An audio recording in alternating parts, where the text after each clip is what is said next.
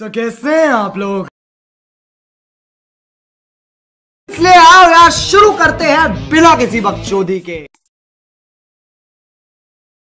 चूतिया है। बाप भसुड़ी के बाप। वंस अ ऑलवेज अ सुअर एक्साइटमेंट तो है ही नहीं ज़िंदगी में। क्या बात है?